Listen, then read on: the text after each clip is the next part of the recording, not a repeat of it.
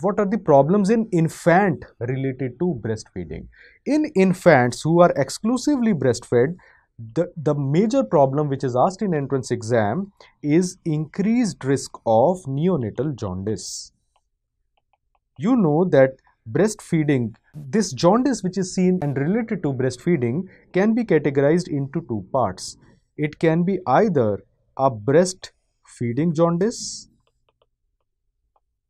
or it can be a breast milk jaundice. Breastfeeding jaundice is found to be relatively common, whereas breast milk jaundice is found to be rare.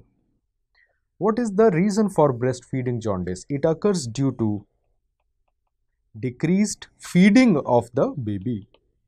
This decreased feeding produces relative dehydration and indirectly increases enterohepatic circulation of unconjugated bilirubin which results in slightly increased levels of unconjugated bilirubin.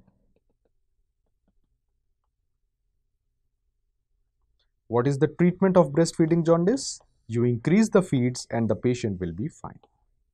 Breast milk jaundice occurs due to substances in the breast milk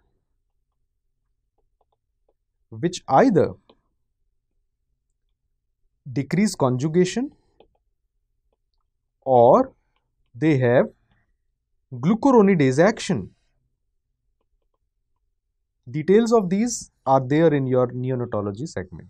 Glucuronidase action means the conjugated bilirubin will be back converted by glucuronidase into unconjugated bilirubin and so they can cause significantly high levels so i'm using three arrows of unconjugated bilirubin and can even if not properly managed they can even cause kernicterus in the patient.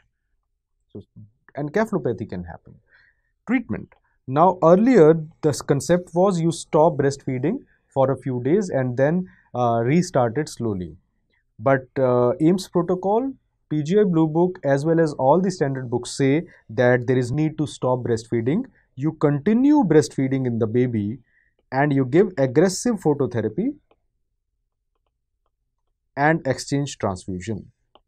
It is found that after the first four weeks of life are gone, slowly that the breast milk jaundice, the ability of substances in the milk to produce such phenomena, they tend to come down and so the child automatically improves. So during that transition period when this problem is happening, you need to aggressively manage phototherapy, using phototherapy, using exchange transfusion till the time the child comes out of it, but we continue breastfeeding in all scenarios. So this is, these are the problems in infant related to breastfeeding. Other than that, breastfeeding is always beneficial to the baby.